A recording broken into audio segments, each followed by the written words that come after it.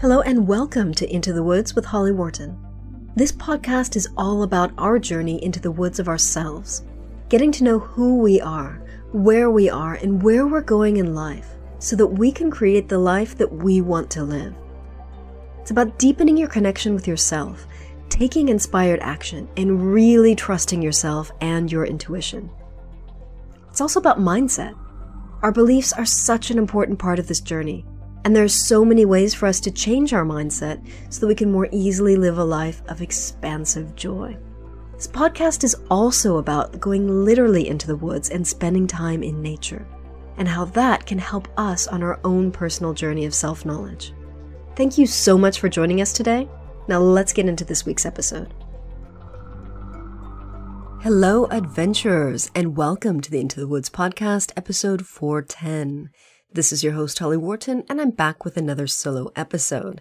Today, I'm going to talk about outdoors learning and how that can add a new layer to your outdoor adventures. So, I spent a lot of time talking about running, uh, trail running, and hiking and walking long distance trails, and training and travel, and all that stuff is really great.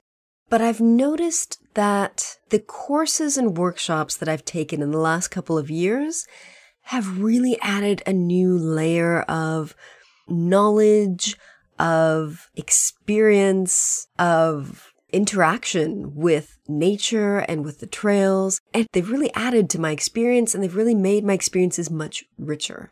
I've talked about this a little bit last year when I did the Ridgeway, it was right after I'd done my wildlife tracking and identification course.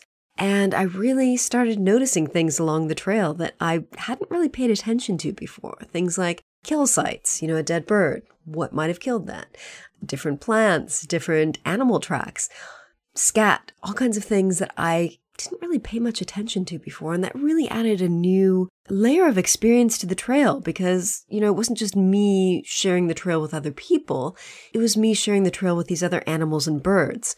So it definitely added to the experience.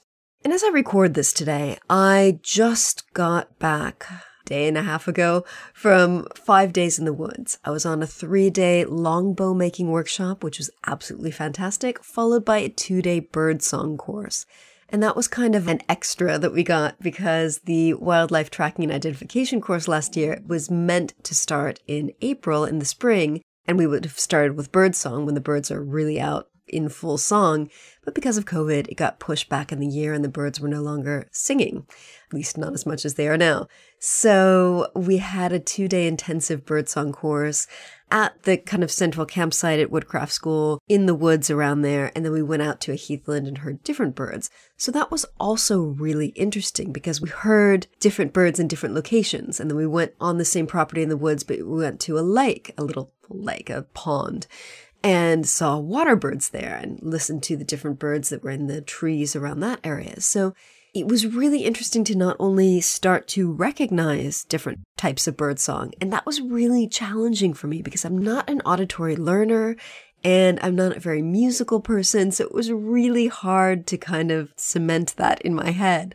But I definitely learned a few birdsong calls that I will recognize now. Just yesterday when I was out in the woods and I was running, I was paying attention to the birdsong in a different way. It wasn't just this kind of symphony of birds, I could pick out the different types of birds that were singing.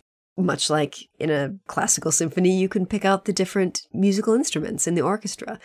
So I really liked that birdsong is no longer just this mesh of songs and notes and things.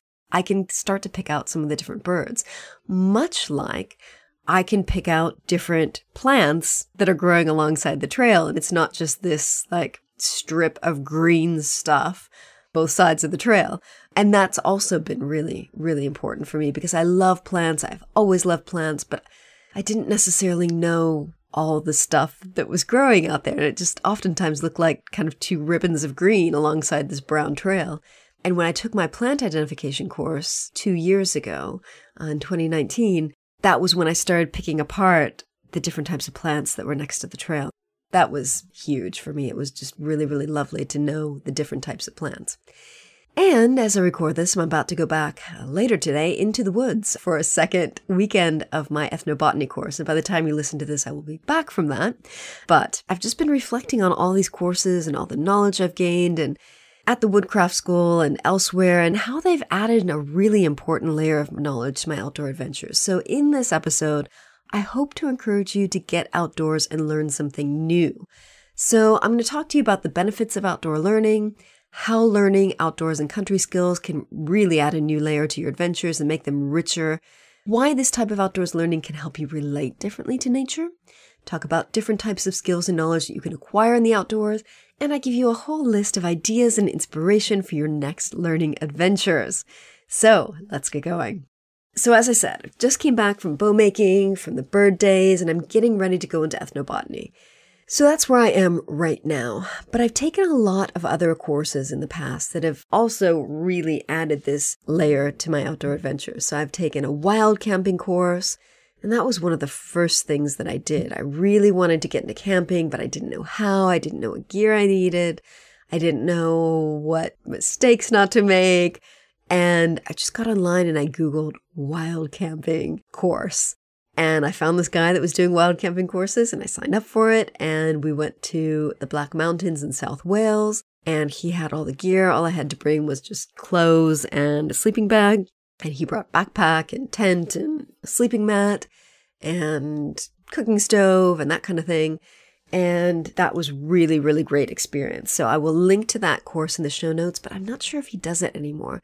Someone who does wild camping courses is Mark Reid. And I've done a lot of navigation courses with him. And he does at least, I think, three or four wild camping courses every year in the north, up in North Yorkshire. So we'll link to him in the show notes. I really recommend something like this if you want to get out to sleep in the outdoors, but you've never done it, or you've never done it on your own, or you're afraid to do it, or you don't want to make mistakes. Do something like this where you're supported and the people will teach you about what skills you need and what you need to know and what kit you need. So, wild camping, very exciting foraging days. I did a meetup group a couple years ago and went on this foraging day. It wasn't even a full day, it was like a half day. But if you search for foraging courses, you can find all kinds of courses on foraging. And that's great because when you go into the woods, you see all these green things and you learn which ones you can eat and which ones you cannot eat. And which ones that you can't eat might be confused with ones that you can eat. So that's a really good thing to learn. And it really adds a different layer to my adventures. A couple weeks ago, when I went to Savernake Forest to take photographs of the trees from my book, the beech leaves were just coming out and they were really fresh and young. And you can eat young beech leaves, and they're really delicious and lovely. So I was just kind of walking along, plucking beech leaves and eating them as I went. And out on a run the other day with my husband, and I plucked a couple of beech leaves and I gave him one to try. I don't think he liked it very much. He chewed it and then he spit it out. But it adds a different layer to your experience because as you're running or walking this trail, you can snack on things along the way. it's like um, a salad that follows you along the trail. Forest bathing. I went to a forest bathing meetup group once never went back, sadly, because it never coincided with my availability. But that forest bathing, again, it was like a half day, was where I got the idea for my book, If Trees Could Talk, because Yew Tree out on that day gave me the idea for the book. And forest bathing is great because it helps you to connect with the woods with all your senses. So, hearing, your smelling, your touch, your taste it really encourages you to slow down and connect with nature. So it's a really good skill to learn, even if you just kind of go to one course and learn some of the basics. One of the things that the trees in my book, If Trees Could Talk, said over and over and over again was slow down, you move too fast. And I think that slowing down is a great way of connecting with nature. And it's something that I have to remind myself to do. You know, I do it like I will go out and specifically go to connect with trees to connect with nature because of course otherwise I'm either walking or running down the trails. So, wildlife tracking and identification, I did that last year at Woodcraft School. It was really, really great. We learned track and sign, so different animal tracks, signs like scat, leftover snacks, like seeds and nuts and things that animals would have eaten and left the shells, learning which types of animals leave different types of bite marks on the shells, that kind of thing. Really, really interesting because I learned a lot about what kind of the behavior of animals living in the woods that I walk through. And we also went to different habitats. We went to the coast. We were a lot in the woods, but we saw different things. We went to Heathland and saw reptiles, and it was just really, really, really good. Then, towards the end of last year, I did wildlife trailing, which is where you find deer tracks and you follow them, hopefully to the point where you can see the deer. And you can do this for different types of wildlife depending on what part of the world you live in. And that was really good because it also helped me to learn just how many deer there are in the woods and their lifestyle and how they move and what they do and how to sneak up on them and observe them. That was also at Woodcraft School. Last year I did the Advanced Bushcraft Award. It was a level three award. It was super intensive, five days. We did spoon carving, we did fire making, we did cordage making, we learned plants, we learned trees, we learned about heat and cold injuries, heat stroke, filtering water, finding water, purifying water, like all the kind of basic skills you need if you're in a survival situation in the outdoors. And cra- if you're, you know, not in a survival situation, and you want to do crafting stuff like spoon carving or cordage. It was a really, really good intro to these skills. And if you just search for bushcraft school in your area, you can find either a comprehensive course like this, or you can find something that's a little more specific if you have a specific skill you want to learn. That was also at Woodcraft School. The very first course I did at Woodcraft School, and I'm linking to Woodcraft School in the notes because this is my favorite school where I love to learn this stuff. And sadly, I'm working my way through all the courses, and I think I've only got one big course left, which I won't be able to sign up for this year because it doesn't fit into my schedule, so it's going to have to be next year. But the first course I took there was plant identification and use, and that was a five day, super intensive course that's all about plant identification and use. So we learned all the different ways to use these plants, whether it's for medicinal purposes or for eating or for creating medicines like tinctures or salves for the skin. And we actually made some things and took some things home. So that was really, really good. And then other types of things that I've done even before this, I did National Navigation Award Scheme. I did the Straight to Silver. So that was really important because that's about navigating, reading a map, knowing how to use a map and compass. I've done the gold course with team walking as well, but I haven't done the gold evaluation. And that's something I want to do either late this year or next year because I feel like I have unfinished business with that, but I also feel like I need to practice the gold techniques. And that's really good because that's learning how to navigate by contours and kind of the different features in the land. And that's a really good skill, not just to learn how to use a map and compass and navigate, but it's also good because it helps you pay attention to the way the land looks around you. And it's really good because these courses I've done in North Yorkshire where there's not as much woodland. And so you can really see all the different land formations from a distance. And that's, it gives you a totally different perspective. So that's really good. I also did the Lowland Leader Award and that was good. I did it at the time because I was leading walking groups here in the Southeast and I wanted to learn kind of what I needed to know about leading groups. And so that was really useful. There was a lot of navigation in it, but also I learned some really practical things like how to use trails, how not to use trails, that kind of thing. And finally, outdoor first aid, which I've done twice now because you have to update it every three years. And that's been super, super useful to know the skills to take care of myself and others if I get injured or someone else gets injured. So, how have these courses helped me to relate to nature differently? How have they helped me to add this extra layer of experience to my outdoor adventures? Forest bathing, as I said, helped me to slow down and just use all my senses. I can recognize plants now. I know some of their uses. I know some of the folklore behind the plants, which I love learning. I know if they're edible or not. Obviously, never eat a plant or forage a plant if you're not 100% sure what it is. I notice animal tracks and signs that I wouldn't have noticed before. I mean, I'm really seeing details on the trails and around the trails that I just wouldn't have paid attention to before these courses. they really help me to understand what's going around me in nature, who's sharing the trails that I use, because it's not just other people. There's a lot of animals out there, there's a lot of birds out there, even if you're not necessarily seeing them or hearing them. Bushcraft has really helped me to understand the risks of being outdoors and the heat and cold injuries, how to stay safe. It's given me the confidence to be in the outdoors. Bow making course. We talked a lot about history and how these long bows were used, and it really helped me to understand the history of the land that I live in.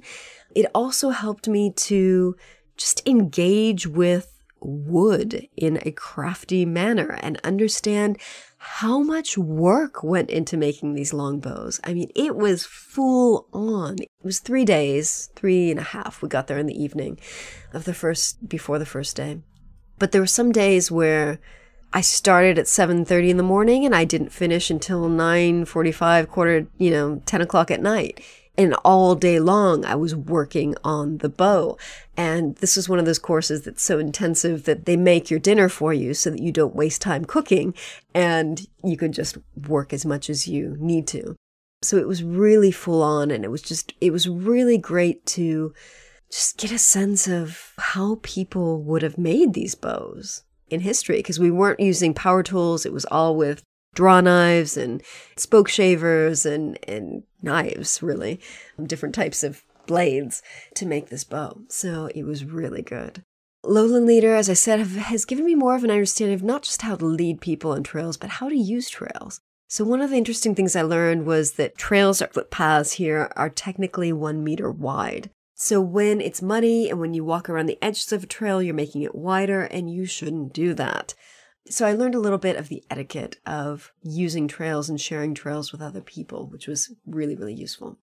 Now, if you search online for the benefits of outdoor learning, you mostly get information about children and forest schools and that kind of things. But adults can really benefit from learning about nature. A lot of us are so disconnected from nature. And taking courses like this, in addition to getting outdoors, helps give us a greater respect for the land that we live on it gives us a greater understanding and perspective of what's going on outside our front door, whether it's in the fields, in the forests, and the coast. And it gives us a greater respect for our natural resources. So I think it's really, really useful, not just for children to learn this stuff, but for adults.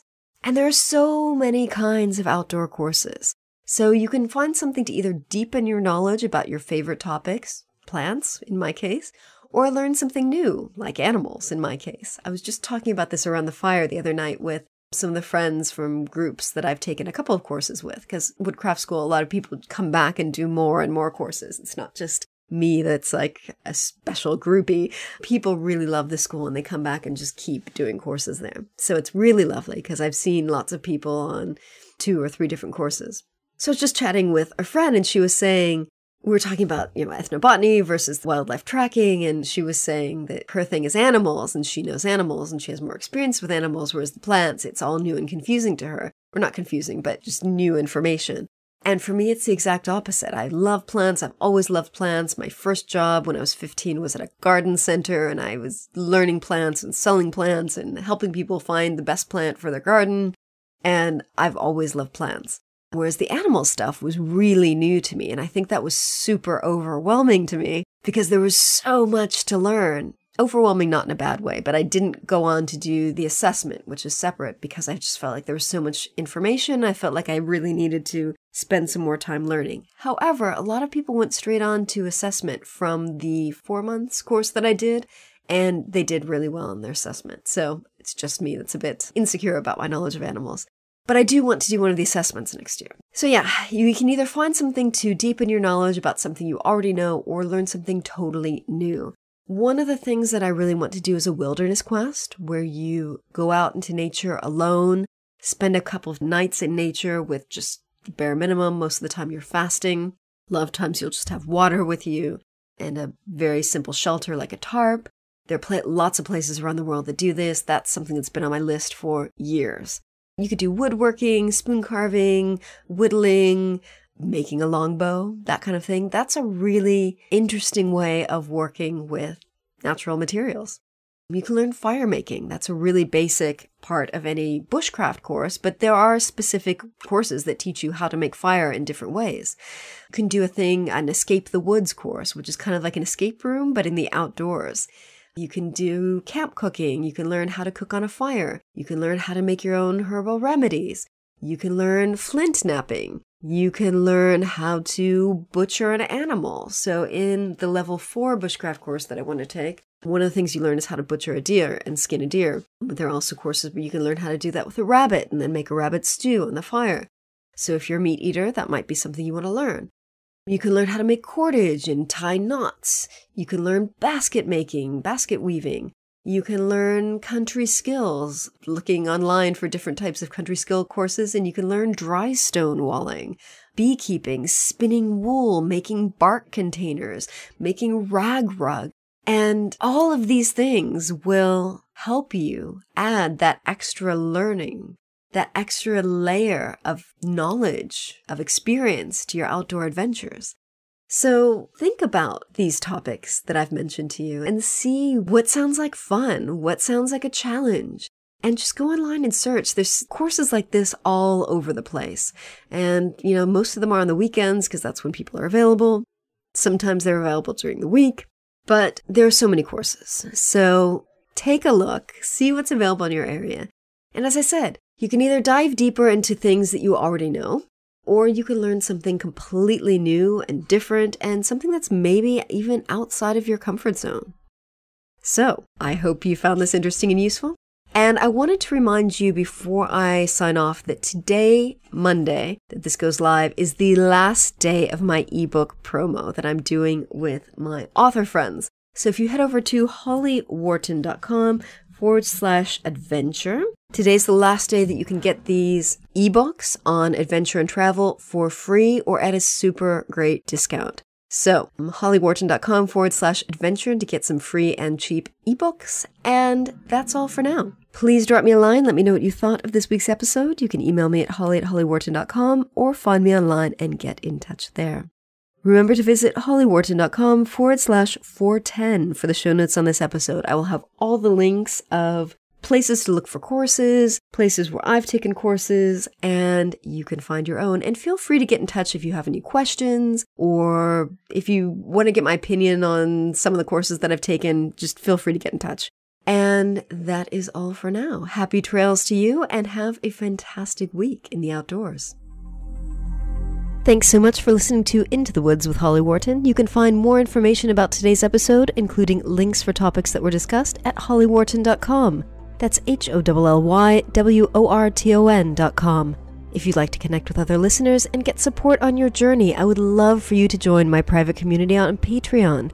That's patreon.com forward slash Holly Worton. That's P A T R E O N dot com forward slash Holly Worton.